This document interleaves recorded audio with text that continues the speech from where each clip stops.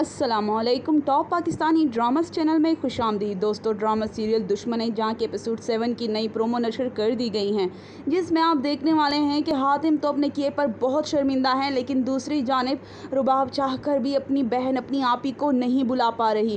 آخر وہ کس طرح سے ان کے قاتلوں تک پہنچ رباب بہت زیادہ پریشانی میں ہے اسے ہر پل، ہر ٹائم اپنی آپی یاد آتی ہیں۔ ان کے ساتھ کیا کچھ ہوا ہوگا؟ وہ کتنا تڑپی ہوں گی، کتنا ترسی ہوں گی۔ اسے رہ رہ کر اس شخص پہ غصہ آ رہا ہے، جس کی وجہ سے اس کی آپی کے ساتھ یہ سب ہوا ہے۔ تو دوسری جانب حاتم بھی کچھ کم پچھتاوے میں نہیں ہے اور بالآخر وہ اس بات کا ازالہ کرنا چاہتا ہے اور وہ کچھ اس طرح سے کہ اگر وہ رمشا کی اس چھوٹی بہن رباب کے ساتھ شادی کرے گا تو وہ رمشا سے معافی بھی اسے مل جائے گی اور اس کے پچھتاوے کا ازالہ بھی ہو جائے گا اور پھر وہ ایسا ہی کرتا ہے۔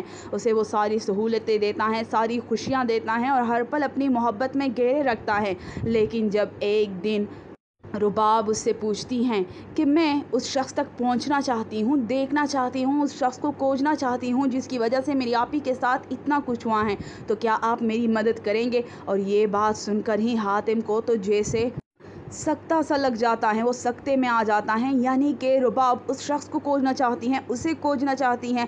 اگر رباب کو اس بات کا علم ہو گیا کہ اس کی آپی کے ساتھ جو کچھ ہوا ہے، وہ اسی شخص کی وجہ سے ہوا ہے جو اس سے اتنی محبت جتا رہا ہے، تب کیا ہوگا؟ اگر اس کا سچ سب پر سب کے سامنے کھل گیا، تو پھر اس کے ساتھ کیا ہوگا؟ کیا رباب اسے معاف کر پائے گی؟ نہیں، وہ اسے کبھی بھی معاف نہیں کرے گی۔ آپ کیا کہتے ہیں؟ کمنٹ میں اپنی قیمتی رائے ضرور دیجیے گا، لائک کر کے ضرور بتائیے گا۔ شکریہ۔